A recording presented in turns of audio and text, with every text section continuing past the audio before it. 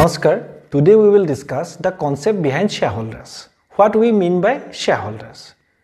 When we talk about the company, the word shares come. We all of you know that the share is very much related to the company. Now you understand the concept behind the shareholders. The shareholders may be any person, any individual, any group of individuals, any party, any organization, any type of company also, one who purchases the shares of another company.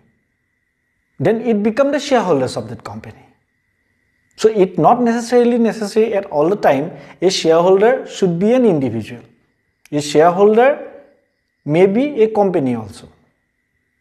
A company issues shares to the public that anybody, anyone, any person, any organization from the public, one who purchases the shares of that company, he or she or that particular company become the shareholders of that company. So, what we understand mean by shareholders? The shareholders means all those persons or anybody from the public, one who purchases the shares. A share, as soon as the person purchases the shares,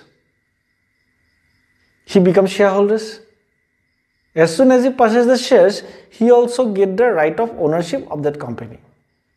So shareholders entertain the right of ownership in the company. So what that particular right signifies?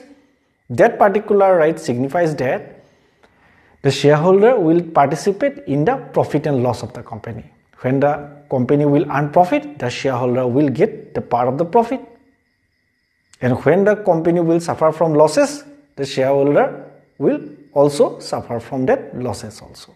So they basically, shareholders basically the owners, not owner, owners of the company who shares profit and losses of the company equally. And they, they are, what is their main characteristics? They are the owners of the company. That's all about the concept behind shareholders. Hope you understand the concept of the shareholders. If you understand, then like my videos and share it to you.